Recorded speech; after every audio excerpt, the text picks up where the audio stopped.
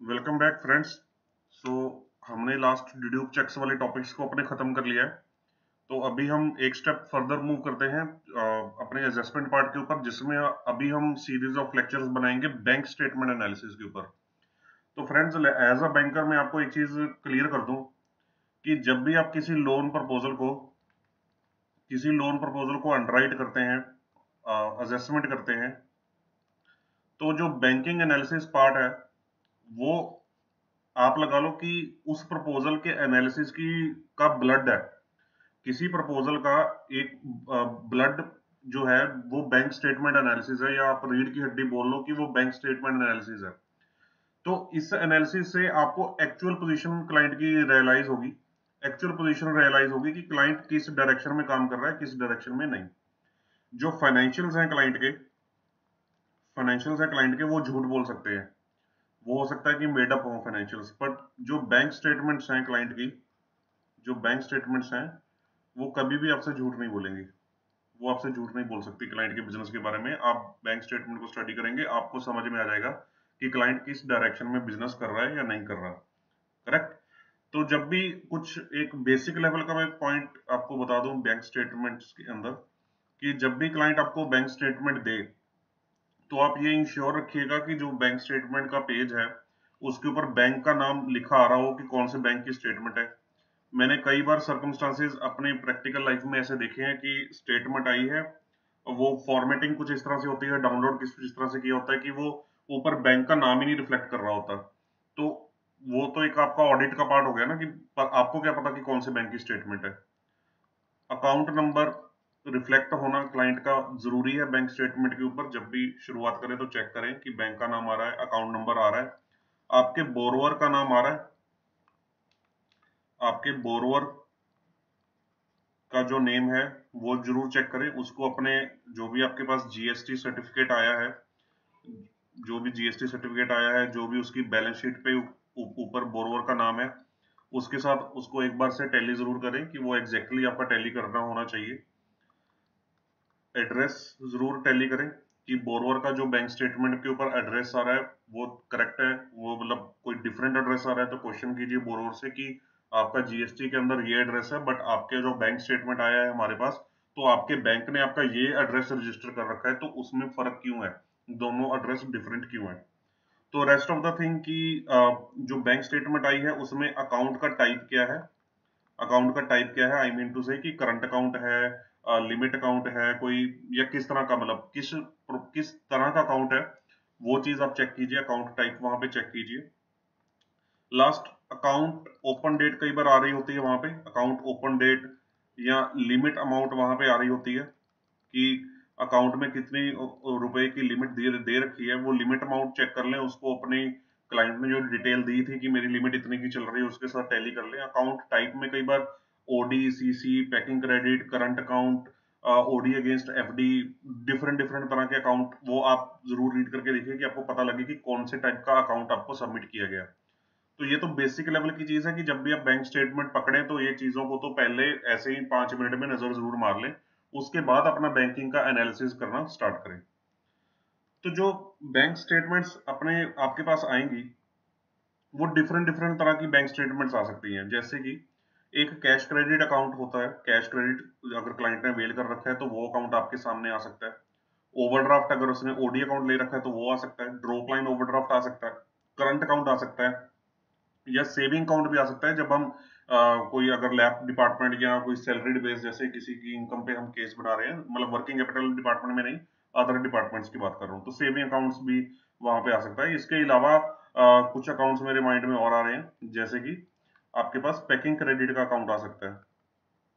Packing credit packing credit account आपके साथ आ सकता है एनालिसिस के लिए आपके पास करेक्ट तो डिफरेंट डिफरेंट अकाउंट्स के डिफरेंट डिफरेंट फीचर्स हैं। पैकिंग क्रेडिट अकाउंट अलग तरह से ऑपरेट करता है, दो तरीके हैं उसको ऑपरेट करने के। कैश क्रेडिट अकाउंट में कुछ चीज़ें एडिशनल देखनी पड़ेंगी ओवरड्राफ्ट में कुछ चीज़ें ध्यान में रखनी पड़ेंगी ड्रॉप लाइन ओवरड्राफ्ट में ऐसी सेपरेट है। करंट अकाउंट एक most common type of criteria saving account कुछ डिफरेंट तरीके से चलेगा एनालिसिस उसका। तो हर एक जो अकाउंट है अकाउंट वाइज कुछ फीचर्स एक दो फीचर्स की बात कर रहा हूँ, एक दो फीचर्स अलग रहेंगे तो वो अकाउंट स्पेसिफिक हम डिफरेंटली कवर कर लेंगे कि हर एक अकाउंट में अलग अलग फीचर्स क्या हैं। बट अपना जो फोकस एरिया है कि, जो कोर एरिया है कि, जो हर एक अकाउंट में मोस्टली कॉमन है, उनके ऊपर हमने डिस्कशन करना है, उनके ऊपर हमने फोकस करना है। तो ज़रूर, देखिए, जो बैंकिंग एनालिसिस का टॉपिक है, वो मैं आपको एक लेक्चर के अंदर नहीं समझाऊँगा, क्योंकि ये इसके साथ जस्टिस नहीं होगा इस टॉपिक के साथ। One of the most important चीज़ है आपके क्रेडिट एनालिसिस के बारे में तो मैं इसके अंदर आराम से टाइम लूँगा इसको समझाने में। तो आज मैंने कुछ कुछ कॉमन पॉइंट्स ड्रॉ डाउन किए हैं। इसके अलावा जैसे जैसे टाइम बीतेगा, मैं और भी पॉइंट्स जो मैंने प्रैक्टिकली सात आठ साल में देखे हैं कि अच्छा ये भी चेक कर लेना चाहिए था बैंकिंग में, या ये हमने देखा नहीं, ये हमसे मिस आउट हो गया, अगर ये देख लेते तो ऐसे होता। राउंड ट्रिपिंग एंट्रीज होती हैं, जो बिलिंग का काम बोगस काम करते हैं, उनको कैसे पकड़ा जाए बैंक स्टेटमेंट के बेसिस पे, वो सब चीज़ें भी। तो अलग अलग चीज़ें हैं बैंक स्टेटमेंट एनालिसिस में, बहुत ही वाइड टॉपिक है और बहुत ही इनडेप्थ टॉपिक है। तो बने रहिएगा, मैं इसके ऊपर काफ़ी वीडियोस बनाऊँगा, ठीक है? तो छोटी छोटी वीडियोस बनाऊँगा तीस तीस चालीस चालीस मिनट की तो उसके थ्रू आपको सारी चीज़ें कवर करवाऊँगा। तो जैसे आज मैंने कुछ कॉमन पॉइंट्स ड्रॉ डाउन किए हैं तो मैं सारे नहीं समझाने वाला। इसके ऊपर तो मैं पूरा खुला टाइम लगाने वाला हूँ चर्निंग और क्रेडिट समीशन के ऊपर ताकि अच्छे से आपको समझ लगे। आज मैं इन तीनों टॉपिक्स के ऊपर फोकस करना चाहूँगा। आज मैं इन तीनों टॉपिक्स के ऊपर फोकस करूँगा। EMI repayments in banking, EMI repayments, electricity bill payments and cheque bouncing इन तीन टॉपिक्स ये सब बैंक स्टेटमेंट्स में कॉमन कॉमन है एक्सेप्ट फॉर पैकिंग क्रेडिट क्योंकि पैकिंग क्रेडिट का ऑपरेशन ही बिल्कुल डिफरेंट तरीके से होता है। तो इन तीनों का जो इस स्टेटमेंट में देखिए स्टेटमेंट में देखिए, या इसमें देखिए इसमें देखिए इसमें देखिए तो ये कॉमन क्राइटेरिया है हर एक स्टेटमेंट के लिए करेक्ट तो आइए स्टार्ट करते हैं इन चीज़ों को कि जो बैंक स्टेटमेंट में आपने चेक करनी है। सबसे पहले है ईएमआई रिपेमेंट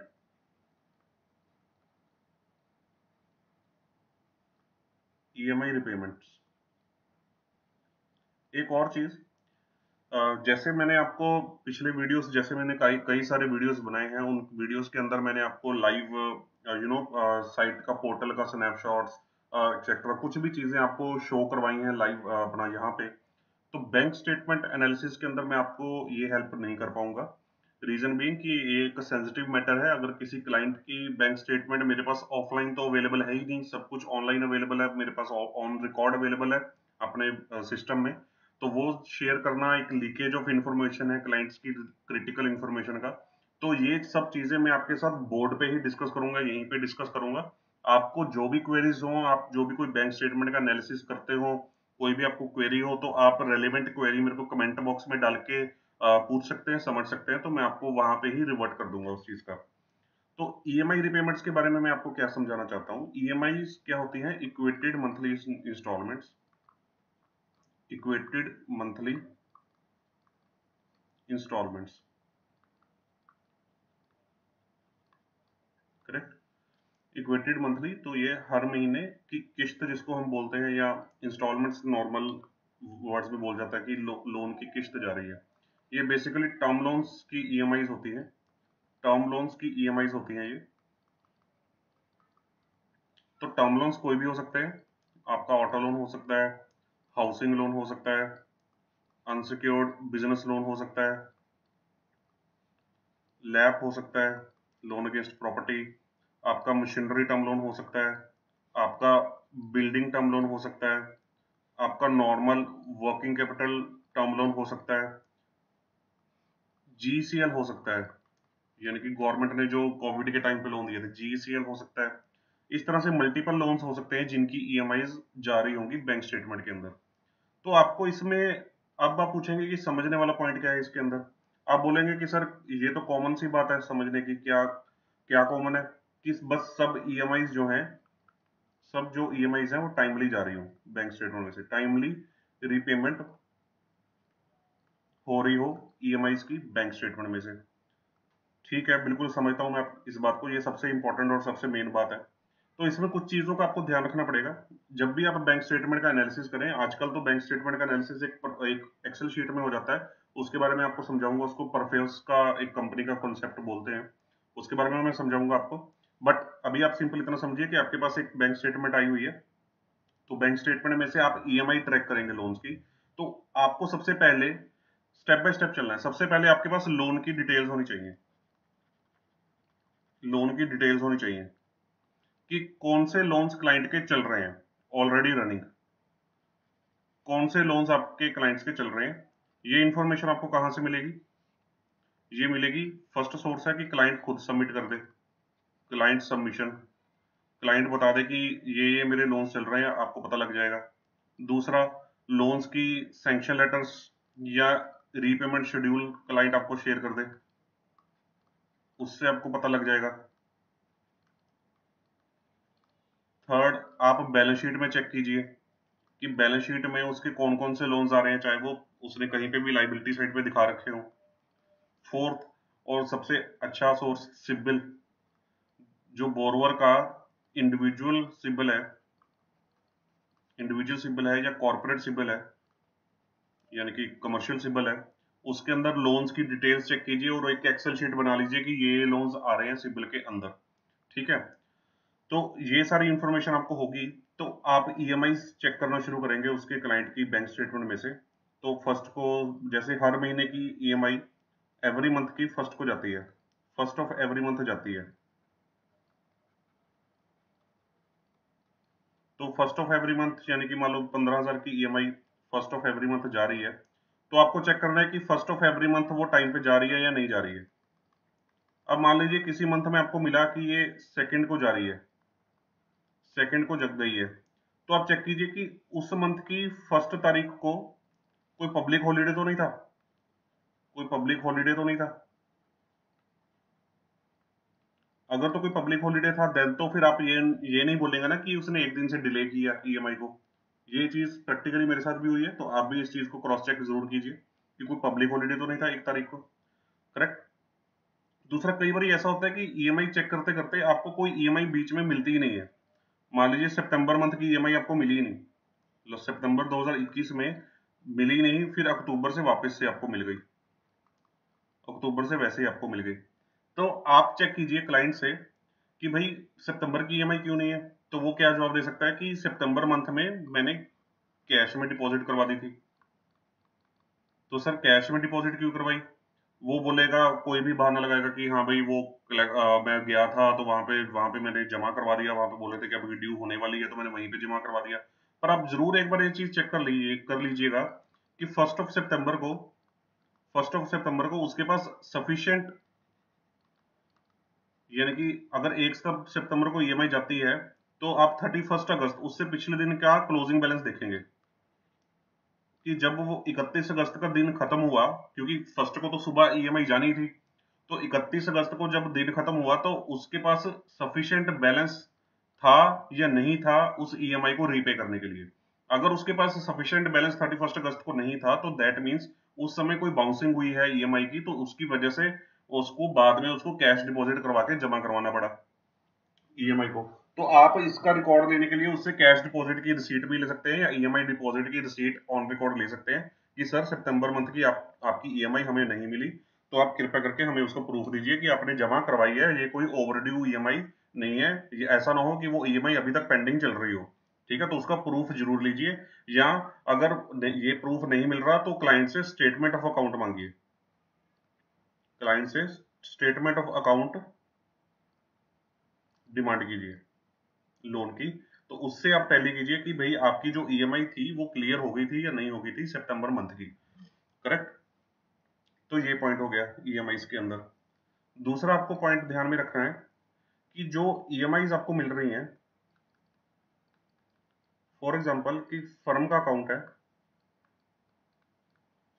फर्म का अकाउंट है, कोई भी हो, चाहे करंट अकाउंट है या कोई भी है, लेकिन बोरवर का अकाउंट है मतलब फर्म का यूनिट एंटिटी का अकाउंट है। आपने देखा उसमें से हाउसिंग लोन की रिपेमेंट जा रही है। हाउसिंग लोन की रिपेमेंट फर्म के अकाउंट से जा रही है। एवरी मंथ चाहे वो पंद्रह हज़ार, बीस हज़ार, जो भी अमाउंट लगा लीजिए अमाउंट मैटर नहीं करता। अब आपके माइंड में क्वेश्चन क्या आएगा?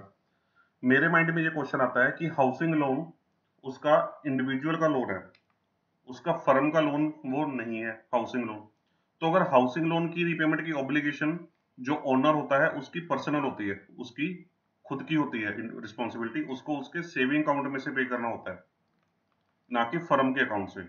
अगर फर्म के अकाउंट से ओनर फर्म के अकाउंट से ओनर अपनी पर्सनल ऑब्लिगेशन पे करता है पर्सनल ऑब्लिगेशन पे करता है तो वो उसकी कैपिटल विड्रॉल मानी जाती है। तो उसकी कैपिटल विड्रॉल मानी जाती है। जनरल रूल है। ये तो जनरल अकाउंटिंग रूल है कि अगर पर्सनल ऑब्लिगेशन को हम फर्म के अकाउंट से पे करें तो एक तरह से हमने अपनी कैपिटल फर्म से वापस निकाल ली। तो भाई अगर इस तरह की रिपेमेंट्स हो रही है तो आप ये चीज़ ज़रूर चेक कीजिए कि वो उसकी अगर ये चीज़ है तो उसका उसकी कैपिटल पे इम्पैक्ट पड़ेगा। तो जो आपकी कैपिटल अगर उसकी आप बुक्स में एक करोड़ रुपए की देख रहे हैं और मान लीजिए उसकी हाउसिंग लोन की ई दो लाख रुपए महीना है तो सा, साल की ई चौबीस लाख हो गई तो उसकी कैपिटल जो है वो धीरे धीरे छिहत्तर लाख हो जाएगी। देन 52 लाख हो जाएगी अगले साल। देन सिमिलरली वो 28 लाख हो जाएगी। तो कैपिटल उसकी बिज़नेस की ईयर ऑन ईयर बेसिस पे एवरी ईयर कम होती जाएगी। तो जो इससे क्या फ़र्क पड़ेगा? इससे आपकी जो रेशोज है, जो जैसे आपकी लीवरेज रेशो हो गई, जो मैं आपको सेपरेटली समझा चुका हूँ गेयरिंग रेशो हो गई करंट रेशोज हो गई ये सब आपकी रेशोज खराब होती जाएँगी। ये सब आपकी रेशोज खराब होती जाएँगी। एक दूसरा सिनेरियो लगा लीजिए सेकंड सिनेरियो इसी केस में सेकंड सिनेरियो सेकंड सिनेरियो क्या होता है कि कई बार प्रोपराइटरशिप कंसर्न के केस में, सिर्फ़ प्रोपराइटरशिप के केस में होता है। प्रोपराइटरशिप कंसर्न के केस में यूजली कई बार ऐसा होता है कि जो बैलेंस शीट होती है क्लाइंट की, जो बैलेंस शीट होती है उसने हाउस लाइबिलिटी साइड पे यहाँ पे हाउसिंग लोन दिखा दिया होता है। हाउसिंग लोन यहीं पे रिफ्लेक्ट कर देता है। और उसके सामने यहाँ पे एसेट साइड पे रेजिडेंशियल प्रॉपर्टी भी दिखा देता है। रेजिडेंशियल प्रॉपर्टी भी दिखा देता है। अब अगर इसने रेजिडेंशियल प्रॉपर्टी भी अपनी बैलेंस शीट में डाल दी और हाउसिंग लोन भी अपनी बैलेंस शीट में डाल दिया तो अब अगर फर्म के अकाउंट से हाउसिंग लोन की रिपेमेंट हो रही है तो देन जो हाउसिंग लोन की रीपेमेंट से कैपिटल कम नहीं होगा, इधर से जो ऊपर कैपिटल है इसकी, उसमें से विड्रॉल नहीं डलेगा। क्यों नहीं डलेगा? क्योंकि इधर रेजिडेंशियल प्रॉपर्टी भी रिफ्लेक्ट कर रखी है एसेट साइड पे और हाउसिंग लोन सेपरेटली आ रहा है लाइबिलिटी साइड पे। पर एक कॉन्सेप्ट मैंने आपको जब सीएमए डाटा में आपको समझा रहा था, तब मैंने आपको समझाया था एक कॉन्सेप्ट कि अगर क्लाइंट की पर्सनल रेजिडेंशियल प्रॉपर्टी बुक्स में आ रही हो तो उसको आप हमेशा कैपिटल में से माइनस करके चलेंगे। कैपिटल में से रिड्यूस कर देंगे रेजिडेंशियल प्रॉपर्टी को, क्योंकि वो रेजिडेंशियल प्रॉपर्टी बिज़नेस पर्पज के लिए यूज़ नहीं है। वो आपकी फेक कैपिटल का इन्फ्यूजन है, जिसका कोई बिज़नेस में यूज़ ही नहीं है। तो ठीक है तो अल्टीमेटली आपकी कैपिटल तो रिड्यूस्ड होकर ही दिखने वाली है बट उसको सेपरेटली आपको कंसीडर करने की इस तरह से ज़रूरत नहीं है, जो मैंने आपको यहाँ पे समझाया, ये वाला पॉइंट ठीक है, वो आप सिंपल रेजिडेंशियल प्रॉपर्टी कैपिटल में से ऑल टुगेदर फुल है फुल लेस कर दीजिए, और जो बैलेंस कैपिटल नज़र आएगी, वही आपकी एक्चुअल कैपिटल होगी बिज़नेस की। करेक्ट तो ये चीज़ हो गई। नेक्स्ट ईएमआई में क्या समझने वाली चीज़ है? ईएमआई रिपेमेंट में। मैंने दो चीज़ें देखी हैं मतलब जो फ्रेशर्स हैं या जो सेल्स टीम में जो फ्रेशर्स लोग हैं, काफ़ी कंफ्यूजन होती है उनको कि repayment schedule and statement of account में। रीपेमेंट शेड्यूल क्या होता है? और स्टेटमेंट ऑफ़ अकाउंट क्या होता है? स्टेटमेंट ऑफ़ अकाउंट को बैंक बैंकर्स जो हैं एसओए बोल देते हैं शॉर्ट फॉर्म में। हम एज अ क्रेडिट मैनेजर कई बार सेल्स वाले को बोलते हैं कि भाई, हमें एसओए ला दो। हमें स्टेटमेंट ऑफ़ अकाउंट लगा, ला दो इस लोन का, कोई भी लोन लोन हो चाहे वो ऑटो लोन हो या टर्म लोन का, कोई भी एसओए ला दो। वो हमें ये लाके चिपका देता है। और बाद में बोलता है कि, सर, आपने मांगा था, मैंने दे तो दिया। भाई, उसको डिफरेंस ही नहीं पता कि दोनों में डिफरेंस क्या होता है। देखिए, दोनों में डिफरेंस समझ लीजिए क्या होता है। रीपेमेंट शेड्यूल जो होता है रीपेमेंट शेड्यूल ये एक जस्ट शेड्यूल है कि आपकी ईएमआई e कब कब जानी है। आपकी ईएमआई e कब कब जानी है। ठीक है? ये आपका शेड्यूल फ़र्स्ट ईएमआई से लेके लास्ट ईएमआई तक लास्ट ईएमआई e तक का डिटेल बना के देता है कि हर मंथ आपकी कितनी ईएमआई e जानी है, कितना प्रिंसिपल जाना है, कितना ब्याज जाना है और बैलेंस आपका कितना बचा होगा। टोटल ईएमआई e कितनी जाएगी प्रिंसिपल कितना होगा उसमें से इंटरेस्ट कितना होगा और बैलेंस प्रिंसिपल आउटस्टैंडिंग हर महीने के एंड में आपका कितना बना होगा, ये मंथ वाइज बनाया होता है। हर मंथ के एंड का बनाया होता है। दो तीन पेज का डॉक्यूमेंट होता है। तो ये एक शेड्यूल है जस्ट ये एक्चुअल रीपेमेंट हुई है या नहीं हुई है ईएमआई की, उसका ये प्रूफ नहीं होता। रीपेमेंट शेड्यूल से हमें ये नहीं पता चलता कि उसने ईएमआई समय पे दे दी है या नहीं दे दी है। तो स्टेटमेंट ऑफ़ अकाउंट जो होती है, वो चीज़ होती है जिसमें हमें पता चलता है कि उसने जो अपनी ईएमआई है, वो टाइम पे दी है या नहीं दी है। तो स्टेटमेंट ऑफ़ अकाउंट क्या होती है? जब से लोन बिगिन हुआ होता है, जब से लोन शुरू हुआ होता है, उससे लेके टिल डेट तक की होती है। आज तक की स्टेटमेंट ऑफ़ अकाउंट होती है। ये फ्यूचर की पीरियड की नहीं होती। क्योंकि ये तो सारा पास्ट डाटा बताती है कि क्लाइंट ने अपनी किस्तें कब कब कौन कौन से दिन पे की हैं। ठीक है, ये स्टेटमेंट बैंक से निकलती है। ये जब लोन लिया जाता है तो एक एक इनिशियल लेवल पे रीपेमेंट शेड्यूल बैंक कस्टमर को दे देता है ताकि कस्टमर को ये ध्यान में रहे कि मेरे को कब कब ईएमआई जमा करवानी है। ये उसका एक्चुअल रिकॉर्ड होता है कि उसने उन ईएमआई को टाइम पे जमा करवाया या नहीं करवाया, इस स्टेटमेंट ऑफ़ अकाउंट से पता चलता है। करेक्ट तो कई बार जब हमें ई कई बार कई बार क्या होता है कि क्लाइंट के पाँच लोन चल रहे हैं तो चार लोन्स तो हमें बैंक स्टेटमेंट में मिल गए। चार लोन्स तो हमें बैंक स्टेटमेंट में मिल गए। देखिए, अब लोन की रीपेमेंट चेक करने के दो रास्ते हैं। या तो आप रीपेमेंट शेड्यूल दे दें रीपेमेंट शेड्यूल दे दें हमें, जिसमें से हमें ईएमआई e पता चल जाए कि कितनी ईएमआई e उसकी हर मंथ जानी है। उस ईएमआई e को हम बैंक स्टेटमेंट खोल के क्लाइंट की क्लाइंट की बैंक स्टेटमेंट खोल के जितने टाइम की भी आई है, छह महीने या बारह महीने की, जो भी आपकी बैंक की पॉलिसी है बैंक स्टेटमेंट खोल के उसको चेक कर लेते हैं, जो भी जितना भी पीरियड हमें बैंक स्टेटमेंट का दिया गया है, कि छह महीने का या बारह महीने का, कि उन छह महीने में या बारह महीनों में उस ई को उसी ड्यू डेट पे दिया गया जो ये ड्यू डेट यहाँ पे रीपेमेंट शेड्यूल में मेंशन थी। उसी ड्यू डेट पे दिया गया या नहीं दिया गया? एक तो ये तरीका है कि repayment schedule repayment schedule plus bank statement का कॉम्बो अब कई बार क्या होता है कि लोन क्रिटिकल होता है और हमारे पास बैंक स्टेटमेंट नहीं आया होता। हमारे पास सॉरी रीपेमेंट शेड्यूल नहीं आया होता और ना ही हमें हमारे पास बैंक स्टेटमेंट में हमें ईएमआई ट्रैक हो रही है। या हमारे पास रीपेमेंट शेड्यूल आया हुआ है, पर उसमें जो ईएमआई मेंशनड है, वो हमें बैंक स्टेटमेंट में ट्रेस नहीं हो रही कहीं, या उल्टा ऊपर नीचे जा रही है बैंक स्टेटमेंट में, या कभी दो तीन महीने उस बैंक स्टेटमेंट में मिल जाती है और क्लाइंट कहता है कि दो तीन महीने में मैंने वहाँ पे कैश जमा करा दिया या मैंने किसी और अकाउंट से जमा करा दिया जिसकी स्टेटमेंट आज मुझे मिल नहीं रही। वो मेरे को ट्रेस नहीं हो पा रही। तो उस सिनेरियो में हम स्टेटमेंट ऑफ़ अकाउंट क्लाइंट का जनरेट करवाते हैं। स्टेटमेंट ऑफ़ अकाउंट से समझते हैं कि क्लाइंट ने, उसमें तो पूरी डिटेल आ जाती है कि इस डेट को ईएमआई ड्यू थी और इस डेट को एक्चुअली में जमा हुई है और कई, अगर कोई बाउंसिंग हुई है तो वो बाउंसिंग भी वहाँ पे रिफ्लेक्ट हो जाती है। अगर उसकी वजह से क्लाइंट को कोई पीनल चार्जेस भी पड़े हैं कोई पेनल्टी पड़ी है तो वो भी उस स्टेटमेंट ऑफ़ अकाउंट में पता चल जाती है करेक्ट नेक्स्ट चीज़ मैं आपको ईएमआई रिपेमेंट्स में बताना चाहूँगा कि मैंने आपको समझाया कि ईएमआई के लोन्स आपको कहाँ कहाँ से पता चल सकते हैं। कहाँ कहाँ से आपको लोन्स की डिटेल मिल सकती है, और वो लोन्स को आप बैंक स्टेटमेंट में से उठा के चेक कर लीजिए या स्टेटमेंट ऑफ़ अकाउंट में से चेक कर लीजिए। अब देखिए, कई बार ऐसे होता है कि लोन कहीं पे भी नहीं आ रहा। Loan is not reported anywhere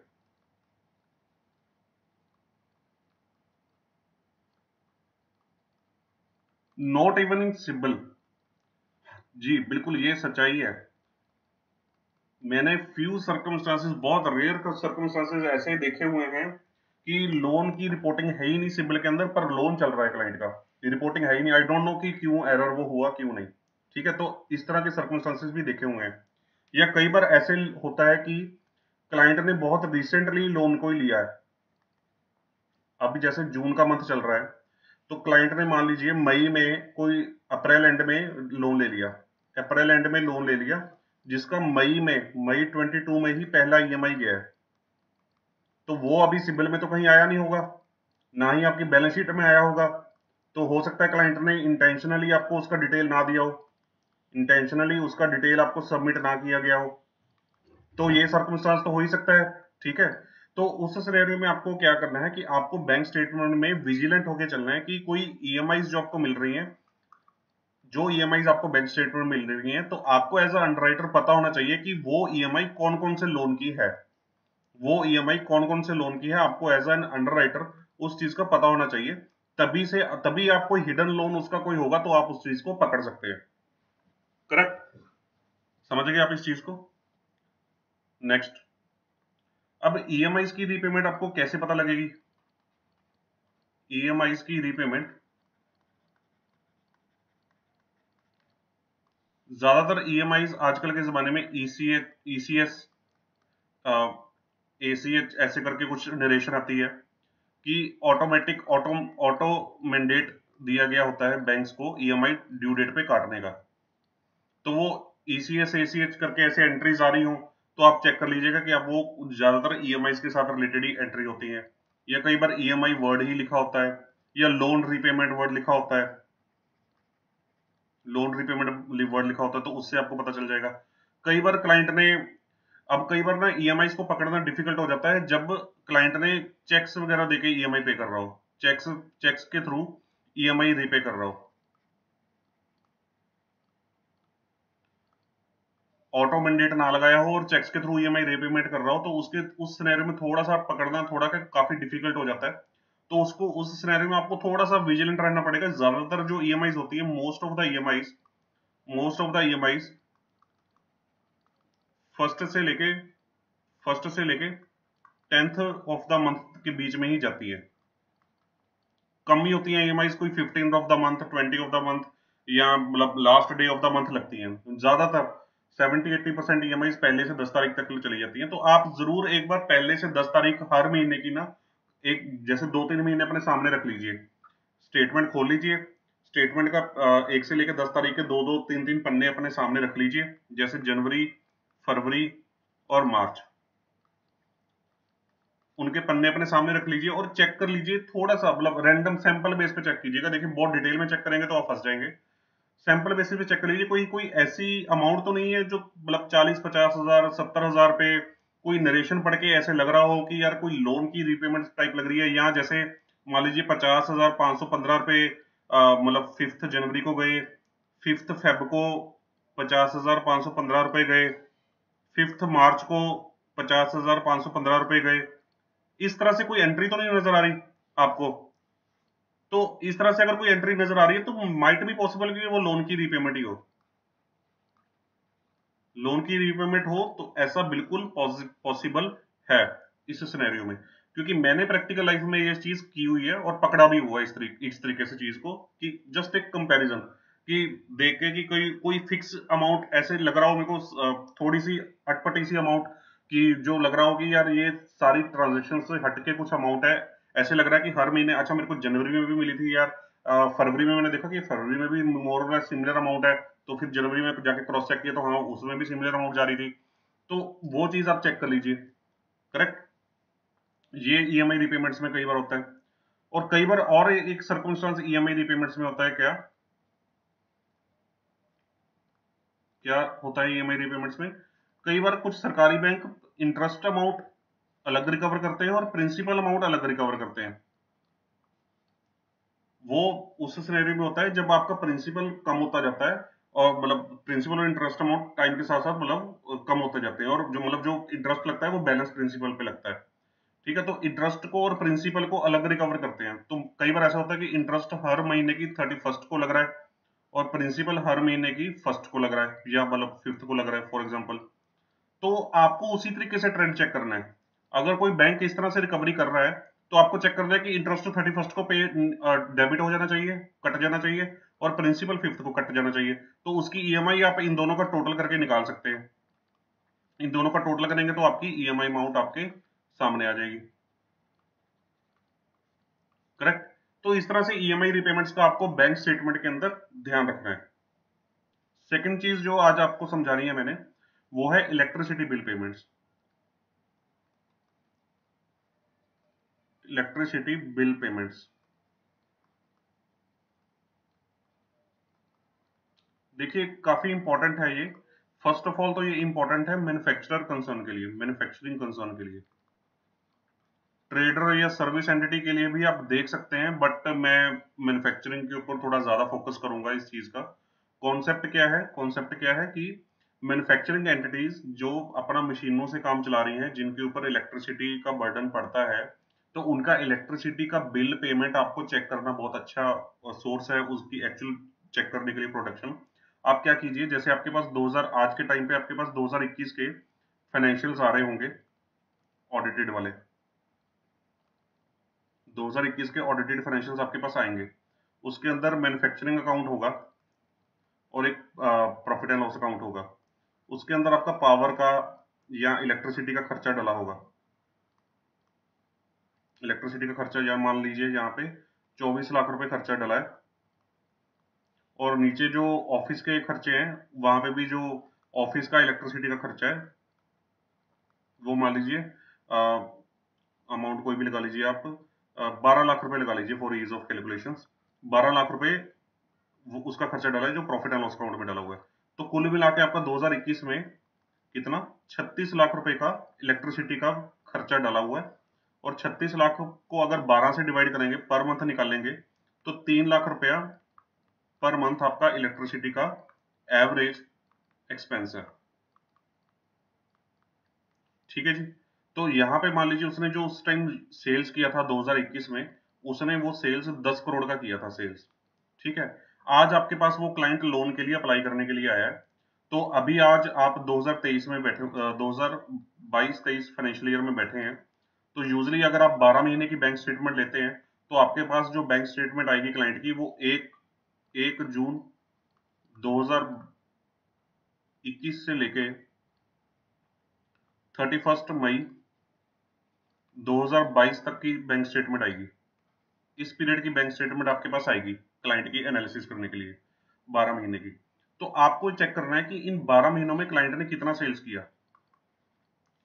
sales कितना अचीव किया? फॉर एग्ज़ाम्पल क्लाइंट ने यहाँ पे सेल्स किया है 15 करोड़ रुपए का। 15 करोड़ रुपए का सेल्स किया। तो अब आपको उसकी बैंक स्टेटमेंट खोलनी है। बैंक स्टेटमेंट्स खोलनी है। और उसमें से उसके month month wise electricity bills की पेमेंट देखनी है। कि हर महीने उसने इलेक्ट्रिसिटी का, बिजली का कितना बिल जमा करवाया। आप उससे बिल की कॉपी भी ले सकते हैं। पर अगर आप डॉक्यूमेंटेशन ज़्यादा लेने से बचना चाहते हैं, क्योंकि कई बार क्लाइंट इरिटेट हो जाते हैं तो इलेक्ट्रिसिटी की बिल की पेमेंट आप बैंक स्टेटमेंट में से चेक कीजिए।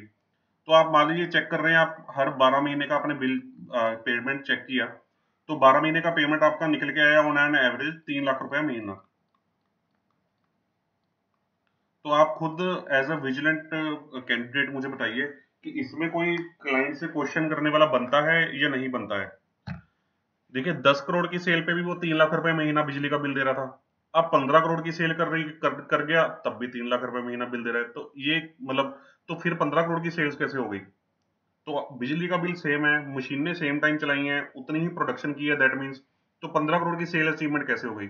या तो उसने ट्रेडिंग की है कि बाहर से माल लिया और बाहर से बेच दिया। तो दैट मीन्स ये तो ट्रेडिंग सेल तो बढ़ानी किसी के लिए भी ज़्यादा डिफ़िकल्ट है ही नहीं।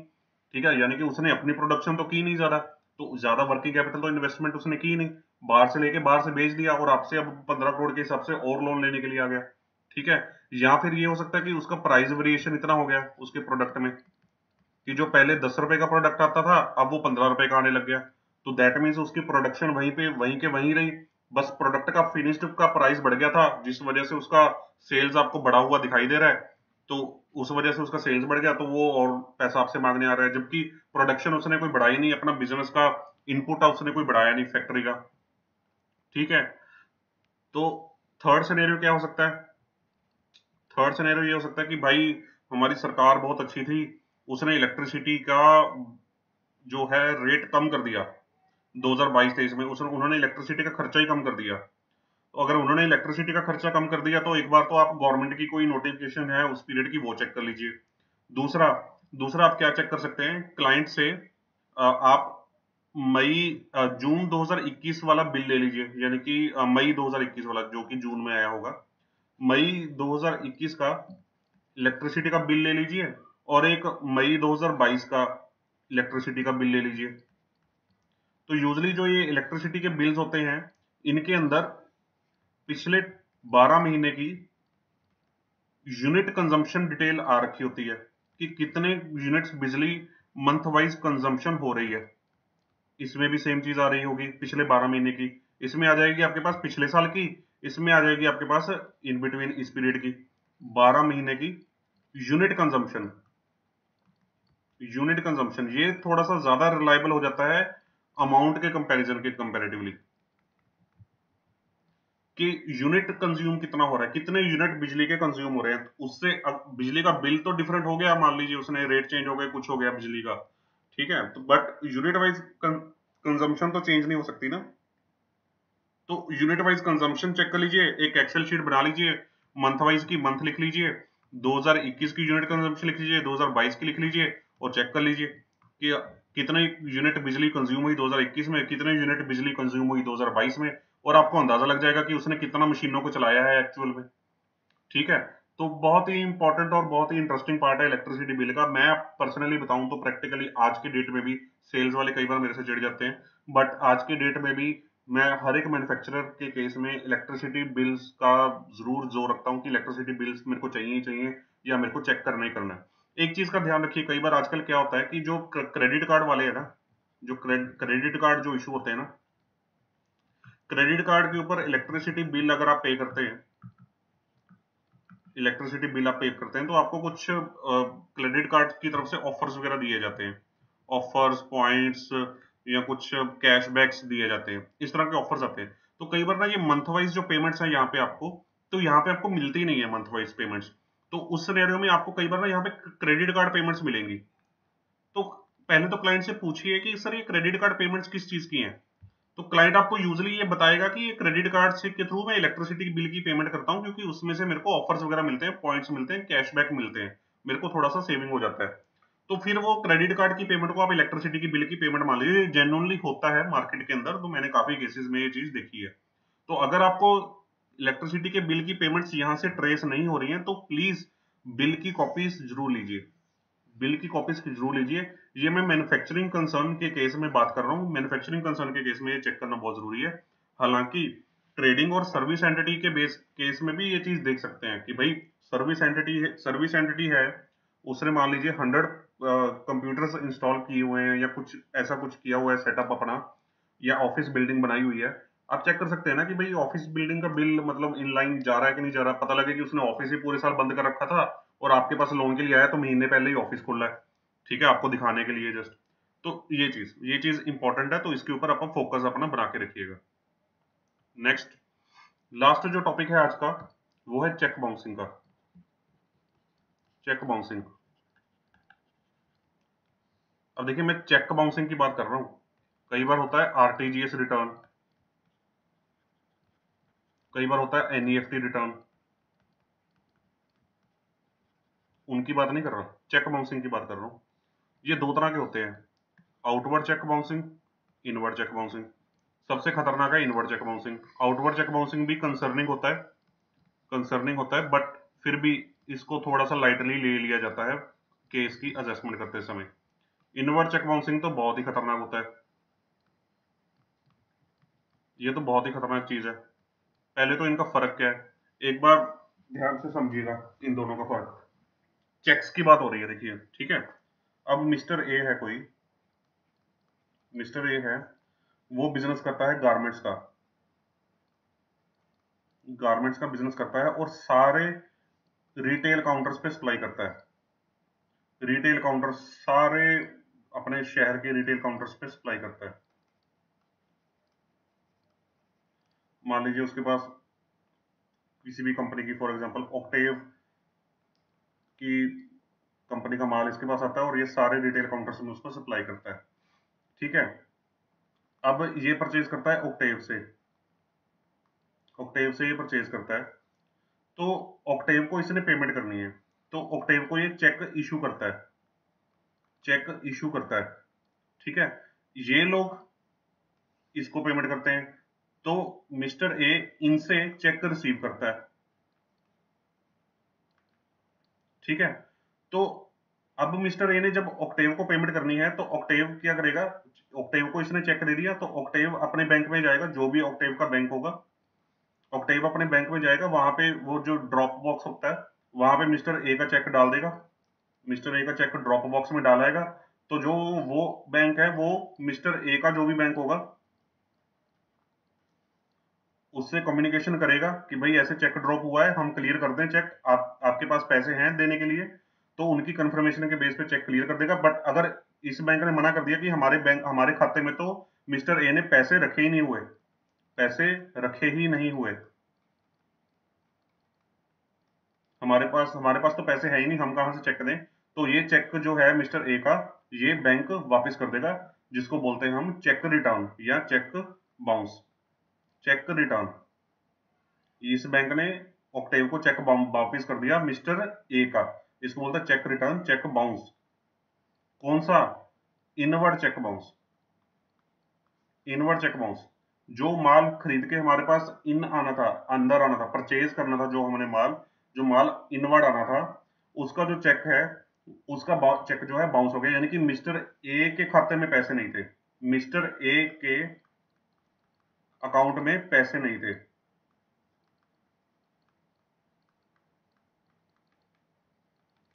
अब मैं हूँ बैंक, एक्सिस बैंक, मान लीजिए। अब यही मिस्टर ए मेरे पास लोन के लिए आया। लोन एप्लीकेशन इसने मेरे पास लगा दी। लोन एप्लीकेशन मेरे पास लगा दी। और मैंने इसकी बैंक स्टेटमेंट को खोला और देखा inward cheque bouncing charges inward cheque bouncing inward cheque bouncing या मतलब उसमें कई बार तो होता है कि जैसे दस लाख का चेक है तो ऐसे अमाउंट आ रही है, दस लाख, पहले दस लाख का चेक इशू हुआ, फिर साथ ही बाउंस हो गया मतलब क्रेडिट कर दिया। या कई बार सिर्फ़ चार्जेस आ रहे होते हैं, मान लीजिए इनवर्ड चेक चार्जेस दो सौ रुपए फॉर एग्ज़ाम्पल चेक बाउंसिंग के चार्जेस भी लगते हैं ना तो एक ही खाते में ये भरे पड़े हैं। तो भाई, जो मिस्टर ए, अपने सप्लायर को, जिनसे उनकी रोटी चलती है, जिस काम से उनको समय पे रीपेमेंट नहीं कर पा रहा, उनकी पेमेंट टाइम पे हो रही है, नहीं हो रही है, उसका ध्यान नहीं रख पा रहा तो वो मेरे को क्या खाक पेमेंट करेगा टाइम पे? जिस बंदे के खुद के चेक क्लियर नहीं हो रहे, उसकी खुद की मार्केट रेपुटेशन क्या होगी? ऑक्टेव मिस्टर ए के बारे में क्या सोचता होगा कि क्या निकम्मा बंदा है? कि पेमेंट ही नहीं टाइम पे कर रहा, कि मेरे पास तो और ऑप्शन है, मैं छोड़ो, इसको सप्लाई नहीं करूँगा आगे से। कितना बड़ा रिस्क है? ऑक्टेव मना कर सकता है कि भाई इसके साथ तो मेरे को पेमेंट डिफ़ॉल्ट है। करेक्ट करेक्ट सही बात है ना? तो जो इनवर्ट चेक बाउंसिंग्स हैं यानी कि वो चेक बाउंस जो हमारे खुद के चेक बाउंस है जो आपका बोरोवर है जिसमें बोरोवर का फॉल्ट है आपके वो वाले cheque bounce inward cheque bounce है। अब आउटवर्ड चेक बाउंस क्या होते हैं? अब मिस्टर ए के पॉइंट ऑफ़ व्यू से तो ये इनवर्ट चेक बाउंस है पर ऑक्टेव के पॉइंट ऑफ़ व्यू से ऑक्टेव को मिस्टर ए से पेमेंट मिल, मिलनी थी ना ऑक्टेव ने इसको माल आउट किया था। जैसे मिस्टर ए ने इनको माल आउट किया है इनको माल आउट किया है वैसे ही ऑक्टेव ने मिस्टर ए को माल आउट किया था। तो मिस्टर ए का जो चेक बाउंस हुआ, वो ऑक्टेव की बैंक स्टेटमेंट में। अब मैं आ गया ऑक्टेव की बैंक स्टेटमेंट में। उसमें वो दिखेगा आउटवर्ड चेक बाउंस उसमें उसकी एंट्री जैसे यहाँ पे पहले दस लाख डेबिट में आई थी, फिर दस लाख क्रेडिट में आई। इनके यहाँ पे ये ऐसे दिखेगी। दस लाख क्रेडिट में और दस लाख डेबिट में। ये उल्टा दिखाई देगी एंट्री इनके बैंक स्टेटमेंट में कि पहले दस लाख रुपए आए, पर वो कैंसिल हो गए, क्योंकि चेक ही बाउंस हो गया। और इनके यहाँ पे आउटवर्ड चेक चार्जेस पड़े होंगे। इनको भी चार्जेस पड़ेंगे। इसको भी पड़ेंगे, इनको भी पड़ेंगे। इनको इनवर्ड पड़ेंगे, इसको आउटवर्ड पड़ेंगे। तो अगर ऑक्टेव वाला आपके पास लोन के लिए अप्लाई करने के लिए आ जाए ऑक्टेव वाला आपके पास आ जाए लोन के लिए अप्लाई करने के लिए तो आप क्या बोलेंगे एज अ बैंकर आप बोलेंगे कि यार ऑक्टेव वाले प्रमोटर को मान लीजिए मिस्टर बी है प्रमोटर उसका। आप बोलेंगे कि, सर, आपका जो बंदा है, आपका जो कस्टमर है मिस्टर ए आप किन बंदों को सप्लाई कर रहे हैं? कि आप, आपके बंदों के चेक की बाउंस हो ही जा रहे हैं। आपकी पेमेंट्स ही सेफ़ नहीं है। कल को आपकी पेमेंट्स डूब गई। मिस्टर ए ने आपकी पेमेंट्स नहीं की। अभी उनके चेक्स बाउंस हो रहे हैं। आपकी पेमेंट्स रुक गई तो आपका तो बिज़नेस ही रुक जाएगा। तो फिर आप हमारी रीपेमेंट कैसे करेंगे? ठीक है? तो ये सेकंड रिस्क हो जाता है। आउटवर्ड वाले में थोड़ा सा लाइट रिस्क है। लाइट रिस्क इसके लिए है क्योंकि इसमें ऑक्टेव की गलती नहीं है। इसमें ऑक्टेव की गलती नहीं है। गलती किसकी थी? गलती थी मिस्टर ए की। ठीक है? तो सिमिलरली इसके पॉइंट ऑफ़ व्यू से भी सोचा जाए, मान लीजिए ये ये जो ये रिटेल वाले बंदे हैं, ये इसको चेक से पेमेंट कर रहे हैं चेक से पेमेंट कर रहे हैं मिस्टर ए को तो जो ये मिस्टर ए को पेमेंट्स आ रही हैं, अगर वो पेमेंट्स इनकी चेक्स की पेमेंट्स बाउंस हो रही है तो हो सकता है कि कल को ये बंदे सारे टाइट हालत वाले हों टाइट हालत वाले हों टाइट पोजीशन में हो। टाइट पोजीशन में हो तो ए को कल को रिस्क है कि इनकी पेमेंट्स अगर नहीं आई तो ए फंस सकता है। क्लियर थोड़ा सा मैं और सिंपल शब्दों में बोल दूँगा इस, इस चीज़ को। जो आउटवर्ड चेक बाउंस है और एक इनवर्ड चेक बाउंस है।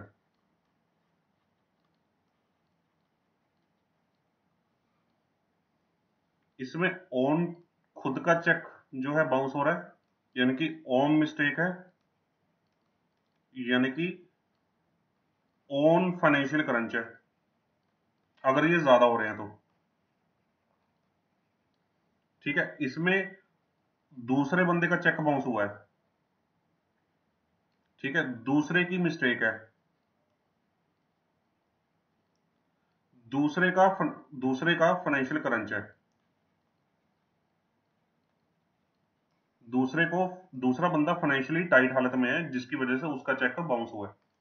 तो ऑक्टेव के लिए मिस्टर ए का चेक बाउंस हुआ तो ऑक्टेव के लिए ये आउटवर्ड चेक बाउंस है, क्योंकि मिस्टर ए की गलती थी। और मिस्टर ए का जो चेक बाउंस था, वो मिस्टर ए के लिए इनवर्ड चेक बाउंस था। ठीक है? तो इस तरह से इसको लेके चलेंगे दोनों चीज़ों को। ठीक है? तो इसमें आउटवर्ड चेक में लेस रिस्कियर है। रिस्कियर है। देखिए रिस्कियर है। वेरी रिस्कियर ये ज़्यादा रिस्कियर है। ठीक है, ये लेस रिस्कियर है, ये ज़्यादा रिस्कियर रिस्कियर है। कई बार क्या होता है कि आज हम मान लीजिए लुधियाना में बैठे हैं, लुधियाना में बैठे हैं तो मेरा डिस्ट्रीब्यूशन का काम है किसी भी प्रोडक्ट का लगा लीजिए, और मेरा जगह जगह पे माल जाता है। हज़ारों विलेजेस आसपास के कस्बों विलेजेस में स्मॉल टाउन्स में मेरा माल जाता है छोटे छोटे रिटेल काउंटर्स पे। अब यूजली उन लोगों को ना बैंकिंग हैबिट्स नहीं होती। जो अभी स्मॉल टाउन्स में लोग हैं वो डेवलप हो रहे हैं बैंकिंग हैबिट्स को लेके पर बैंकिंग हैबिट्स उस तरह से नहीं होती कि वो एक डिसिप्लिन मेंटेन करें। कि वो एक डिसिप्लिन मेंटेन कर पाए इस तरह की उनकी हैबिट नहीं होती बैंकिंग की। तो यूजली वो चेक्स जो देते हैं तो कई बार उन, उनके अकाउंटेंट्स भी पार्ट टाइम अकाउंटेंट होते हैं। पार्ट टाइम अकाउंटेंट होते हैं कोई ज़्यादा हिसाब किताब भी नहीं लगाने वाला नहीं होता। कई बार तो ओनर खुद ही हिसाब किताब लगा रहा होता है सारा। ठीक है तो उनको बैंकिंग हैबिट्स ना होने की वजह से उनके चेक्स बाउंस होते रहते हैं। तो इनको जो वो पेमेंट्स करते हैं चेक्स के थ्रू तो मान लीजिए इस डिस्ट्रीब्यूटर ने ही आपके पास लोन के लिए अप्लाई किया था तो इसमें कई बार आउटवर्ड चेक बाउंस जो होते हैं ना, वो भरे पड़े होते हैं फुल भरे पड़े होते हैं आउटवर्ड चेक बाउंस इन लोगों के। क्योंकि इनको बैंकिंग हैबिट्स नहीं है और ये टाइम पे बैलेंस मेंटेन नहीं करते तो इसकी वजह से इनका चेक बाउंस हो जाता है। ठीक है? पर इस केस में पेमेंट का रिस्क लोअर साइड पे होता है। लोअर साइड पे बैड डेट्स का रिस्क लोअर साइड पे होता है कि ये पेमेंट आपकी मार लेंगे। इस तरह से नहीं होता इनका रिस्क तो इस में क्या करना चाहिए होता है आपको? जब मैं आपको नेक्स्ट लेक्चर में चर्निंग वाला क्रेडिट सबमिशन वाला टॉपिक समझाऊँगा, उसमें आप डिटेल में समझिएगा कि इन, अगर आपकी सारी चेक बाउंसिंग की एंट्रीज हटाने के बाद आपकी जो नेट क्रेडिट सबमिशन हैं, वो आपकी इन लाइन विद सेल्स आ रही है then you you are safe मतलब फिर ये प्रूफ हो गया, क्योंकि इस सिनेरियो में आपका जो ये डिस्ट्रीब्यूटर है, जिसने आपके पास लोन के लिए अप्लाई किया, वो ये बोलता है कि, सर, इसका चेक बाउंस हो गया था, पर बाद में इसने मेरे को कैश जमा करा के, या आरटीजीएस करके, या एनईएफटी e करके मेरे को पेमेंट कर दिया। ठीक है? तो उस सिनेरियो में आप इस चीज़ को बैंक स्टेटमेंट से टैली कर सकते हैं बट वो आपको नेक्स्ट लेक्चर में समझ लगेगा। अभी उसके ऊपर आप ज़ोर मत लगाइए। ठीक है? तो ऑन चेक बाउंस में आपको ये चेक करना पड़ेगा कि credit submissions credit submissions post excluding these checks should be in line with sales.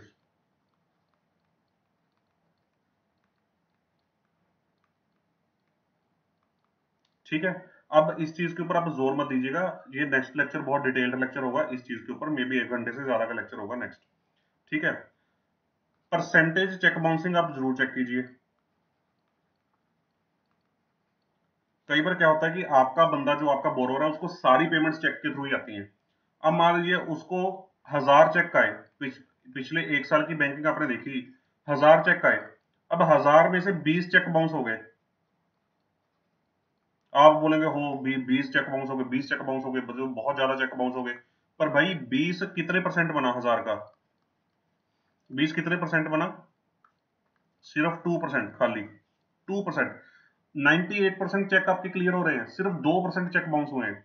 तो इस परसेंटेज के हिसाब से भी आप जज कीजिए क्लाइंट को। सिमिलरली जो इनवर्ट चेक बाउंस है, इसमें भी आप परसेंटेज चेक कीजिए कि जो आपने चेक इश्यू किए हैं चेक इश्यू किए हैं आरटीजीएस एनईएफटी किए हैं, वो नहीं, जो चेक इश्यूज़ किए हैं, अगर मान लीजिए आपके 20 चेक इसी में 20 चेक 20 चेक आपके बाउंस हुए हैं, हज़ार चेक इशू किए थे तो सिर्फ़ दो परसेंट ही बाउंस हुए हैं। 98 परसेंट तो आपके क्लियर है ना। तो कई बार हो जाता है कम्युनिकेशन गैप यार बिज़नेस कर रहे हैं, ठीक है? कई बार ऊपर नीचे हो जाता है, मैं इधर चला गया, उधर चला गया, कुछ काम पड़ गया, नहीं ध्यान दिया गया, उसने चेक लगा दिया, बंदे ने सामने से चेक लगाने से पहले मेरे से बात नहीं की, कुछ भी हो सकता है, ठीक है? या मेरी उस टाइम पेमेंट डिले हो गई थी किसी कस्टमर से, कुछ भी, इस तरीके से आप समझ लीजिए इस चीज़ को। तो ये चीज़ का आप ध्यान रखिए कि परसेंटेज वाइज आपका क्या आ रहा है, ठीक है? थर्ड चीज़ आपको ध्यान रखनी है कि जो चेक आपका बाउंस हुआ जो चेक मैं अब इनवर्ड की बात कर रहा हूँ आउटवर्ड का मैंने खत्म कर दिया। आउटवर्ड के ऊपर और कुछ नहीं है। क्योंकि इनवर्ड ज़्यादा सीरियस मैटर है तो इसके ऊपर मैं बहुत बात कर रहा हूँ कि एक तो परसेंटेज वाइज चेक कर लीजिए कि जितने चेक आपने इश्यूड हैं इश्यूड चेक्स उसके ऊपर कितनी परसेंटेज है।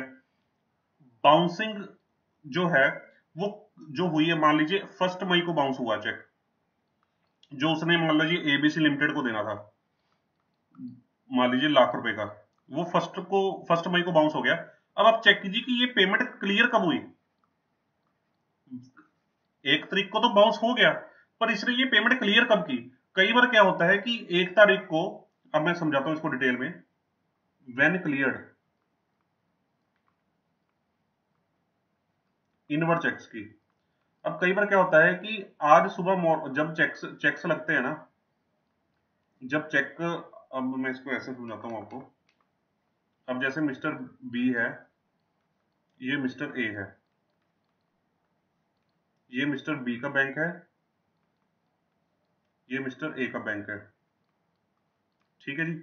तो मिस्टर ए ने मिस्टर बी को बी से माल परचेज किया, उसने इसको चेक दे दिया। ठीक है? मिस्टर बी अपने बैंक के पास गया और ड्रॉप बॉक्स में चेक डालाया तो इसने इसके साथ कम्युनिकेट किया मिस्टर ए के बैंक के साथ कि एक चेक आया है हमारे पास कलेक्शन के लिए, जो मिस्टर ए का चेक है, ये अकाउंट नंबर है तो हमें इसकी पेमेंट कर दीजिए। तो जब ये मान लीजिए कम्युनिकेशन जो है तो अब जैसे मान लीजिए थर्टी फ़र्स्ट थर्टी अप्रैल को थर्टी अप्रैल को, ये चेक यहाँ पे लॉन्च हो गया इस बैंक के सिस्टम में। तो ये बैंक का जो भी सॉफ्टवेयर होगा ना जो भी सॉफ्टवेयर होगा, क्योंकि ये ऑनलाइन होती है ट्रांजेक्शन तो जो भी सॉफ्टवेयर होगा ना, उसके अंदर रिफ्लेक्ट हो जाएगा। उसके अंदर थर्टी अप्रैल को रिफ्लेक्ट हो जाएगा कि ये चेक लगे हुए हैं, कि ये चेक आया है पेमेंट के लिए। मान लीजिए ये लाख रुपए का चेक था, कि ये लाख रुपए का चेक पेमेंट के लिए आया है तो इसकी पेमेंट करनी है। तो जब बैंक वाले सुबह सुबह आएँगे नेक्स्ट मॉर्निंग फ़र्स्ट मई को, जब बैंक वाले अपने ऑफ़िस में आएँगे तो जो प्राइवेट सेक्टर बैंक है, समझदार बैंक है, वो क्या करते हैं? सुबह सुबह आते ही देख लेते हैं कि चेक्स कौन से आए हुए हैं पेमेंट के लिए। चेक्स कौन से आए हुए हैं पेमेंट के लिए प्राइवेट सेक्टर बैंक में। कई समझदार होते हैं। तो वो क्या करते हैं कि जैसे चेक्स उन्होंने देख लिया कि लाख रुपए का चेक आया हुआ है पेमेंट के लिए मिस्टर ए के खाते से। तो वो देख लेते हैं कि मिस्टर ए के खाते में कितना बैलेंस है। अब मान लीजिए पचास हज़ार का बैलेंस है। तो वो मिस्टर ए को फ़ोन कर देते हैं कि, सर, आपका लाख रुपए का चेक आया है, पचास हज़ार रुपए का बैलेंस है, क्या करें? मिस्टर ए बोलता है क्या हो गया? पचास हज़ार रुपये बैलेंस है। रुको रुको, मैं अभी अपना बंदा भेजता हूँ कैश जमा कराता हूँ। तो मिस्टर ए उसी समय बंदा भेज देता है, वहाँ पे कैश जमा करा देता है और उसका बैलेंस लाख रुपए हो जाता है और चेक क्लियर हो जाता है। बाउंसिंग आती ही नहीं। अब कई बैंक क्या करते हैं? कई बैंक क्या करते हैं? अब मैं नाम नहीं लेना चाहता, कुछ करते हैं बैंक वो क्या करते हैं? पहले तो ये चेक को बाउंस बाउंस कर देंगे। सुबह सुबह आएँगे नौ बजे। सुबह सुबह नौ बजे आएँगे। चेक सुबह सुबह लगा हुआ है। पहले बाउंस करा दिया। बाउंस कर दिया चेक एंट्री अकाउंट में आ गई, लाख रुपया डेबिट और लाख रुपया क्रेडिट ठीक है चेक बाउंसिंग ऐसे करके। एंट्री नरेशन भी आ गई। फिर मिस्टर ए को फ़ोन कर दिया कि, सर, ऐसे करके चेक आया था। तो मिस्टर ए ने उसी तारीख को फ़र्स्ट मई को ही, पचास हज़ार रुपया जमा करा दिया कैश जो बैलेंस बचता था। तो उन्होंने फ़र्स्ट को ही उसकी क्लियरेंस कर दी, लाख रुपए की। तो मतलब सेम डे क्लियर हो गया। अगर आपका चेक अगर आपका चेक सेम डे क्लियर हो रहा है सेम डे अगर वो क्लियर हो रहा है तो आप उसको चेक बाउंसिंग नहीं मानेंगे। तो आप उसको चेक बाउंसिंग नहीं मानेंगे। ये अक्रॉस बैंकिंग सेक्टर ऐसा ही माना जाता है। पर इसमें कई जो दिग्गज हैं बैंकिंग सेक्टर के, वो कहते हैं कि ये भी चेक बाउंसिंग ही है। भाई, उस बंदे के अकाउंट में बैलेंस तो था नहीं सुबह सुबह भी, नौ बजे। जब चेक बाउंसिंग के लिए आया पेमेंट के लिए आया तो उस बंदे के अकाउंट में बैलेंस तो था नहीं। वो तो उसने बैंक ने उसको बोला कि आपका बाउंस हो रहा है तो वो उसने कैश जमा करवाया तो जाकर क्लियर हुआ, चाहे वो सेम डे हो गया। बट बैलेंस तो था नहीं ना बंदे के पास। इनिशियली जब वो एट द इंसेप्शन जब चेक प्रेजेंट हुआ, उस टाइम में तो उसके पास बैलेंस नहीं था ना तो आइडली ये बाउंसिंग ही है। बट हम बेनिफिट ऑफ़ द डाउट जो है कस्टमर को देते हैं बैंकिंग में प्रैक्टिकली देते हैं हर एक बैंक देता है तो अगर वो सेम डे क्लियर हो रहा है तो we don't consider it as cheque bounce तो जो आपके ये 20 चेक है ना 20 चेक जो बाउंस हुए हैं, उसमें जो सेम डे क्लियर हो गए ना, उनको काउंट मत कीजिए। उनको काउंट मत कीजिए, ठीक है? दूसरा, कई बार क्या होता है कि जो आपका चेक बाउंस हुआ है, वो अदर रीजंस की वजह से हुआ है other reasons signature not clear signature not clear account number incorrect cheque पे अकाउंट नंबर इनकरेक्ट डाला है. चेक स्टेल स्टेल चेक का पुराना हो चुका है. ठीक है? अमाउंट अमाउंट जो वर्ड्स में रिटर्न है और अमाउंट जो नंबर में रिटर्न है, उनमें फ़र्क है डिफरेंस है. ठीक है? या प्रेजेंट क्लियर नहीं हो क्लियरली नहीं हुआ. या कई बार लिखा होता है प्रेजेंट विद डॉक्यूमेंट तो मतलब जो चेक बाउंस है, ये आउटवर्ड के लिए भी एप्लीकेबल है सेम चीज़। इनवर्ड के लिए भी आउटवर्ड आउटवर्ड के लिए। मतलब ये जो चेक बाउंसिंग हुए हैं, ये किसी फाइनेंशियल रीजन की वजह से नहीं हुए। मतलब ये जो बाउंसिंग हुई है, ये उस वजह से नहीं हुई कि उसके खाते में बैलेंस नहीं था। खाते में बैलेंस ना होने की वजह से वजह से बाउंसिंग नहीं हुई। तो इन चेक्स को भी हम बाउंस नहीं मानते। इन चेक्स को भी हम कुछ भी नहीं मानते, इनको इग्नोर कर देते हैं। तो आपके जो ये 20 चेक्स हैं, इनमें जो ये चेक्स अदर रीजंस की वजह से, यानी कि टेक्निकल रीजन की वजह से बाउंस हुए हैं, उनको इस 20 की रेशो में इंक्लूड मत कीजिएगा। सिर्फ़ और सिर्फ़ जो फाइनेंशियल रीजन की वजह से बाउंस हुए हैं कि खाते में बैलेंस नहीं था, चाहे आपके खाते में बैलेंस नहीं था इनवर्ड चेक के केस में, या आपके कस्टमर के खाते में बैलेंस नहीं था आउटवर्ड चेक के केस में तो सिर्फ़ उन चेक्स को ही आपने कंसिडर करना है। सिर्फ़ उन चेक्स को ही कंसिडर करना है। क्लियर आपको ये पॉइंट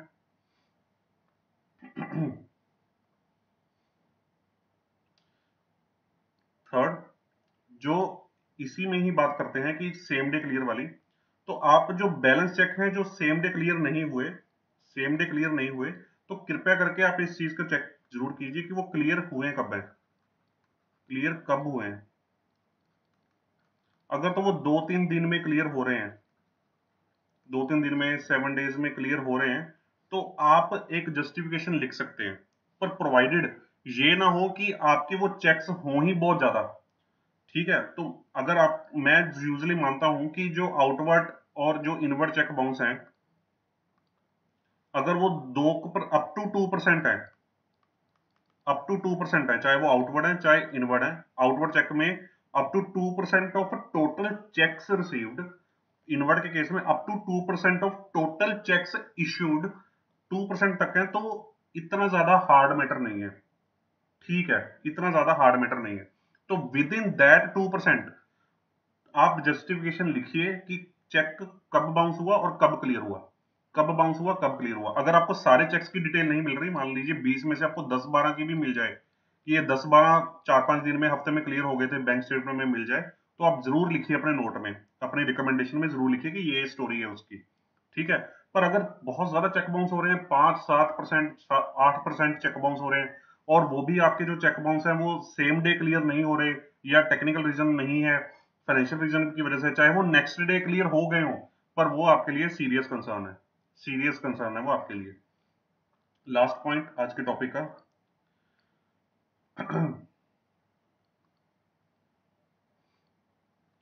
आरटीजीएस और एनईएफटी रिटर्न भाई इनका क्या करेंगे?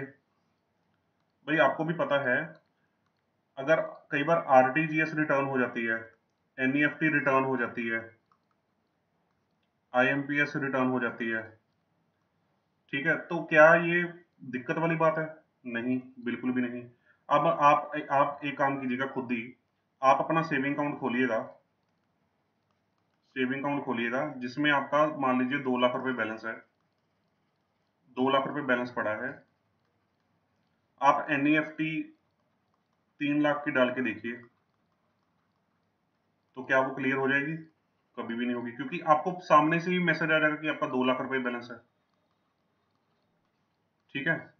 तो भाई इनको आप बाउंसिंग मत ट्रीट कीजिए, क्योंकि ये तो बंदे की बेवकूफ़ी थी जिसने वो बुक कराने की कोशिश की एनईएफटी आरटीजीएस जबकि आपके अकाउंट में उसको सामने से ही दिख जाता है कि बैलेंस था नहीं। ठीक है? तो इनको हम नहीं मानते। ठीक है? सिर्फ़ चेक्स की बात करते हैं। क्लियर आपको ये चीज़? तो बैंकिंग के एनालिसिस को बहुत ही ध्यान से समझिएगा, ये रीढ़ की हड्डी है ब्लड है किसी भी अंडरराइटिंग का, इससे आपको क्लाइंट की एक्चुअल वर्थ पता चलती है, उसके फाइनेंशियल जितने मर्ज़ी सजावट वाले हों, वो कौन सा सत्यम कंप्यूटर वाला केस हुआ था ना, सत्यम घोटाला, उसके अंदर बैलेंस शीट बहुत ही ज़्यादा सजाई गई थी, वो फेक बैलेंस शीट थी जो बाद में नोटिस निकला था, ठीक है ना तो बैलेंस शीट को छोड़िए बैंक स्टेटमेंट को पकड़िए तो बैंक स्टेटमेंट एमएसएमई के केस में बहुत ज़्यादा इंपॉर्टेंट है तो इसके ऊपर मैं काफ़ी वीडियोस बनाऊँगा तो बने रहिए इन वीडियोस के साथ और इन डेप्थ समझिए, जो भी क्वेरी है उनको कमेंट बॉक्स में ज़रूर डालिएगा। तो आपको नेक्स्ट लेक्चर में मिलूँगा। Good bye for now guys thank you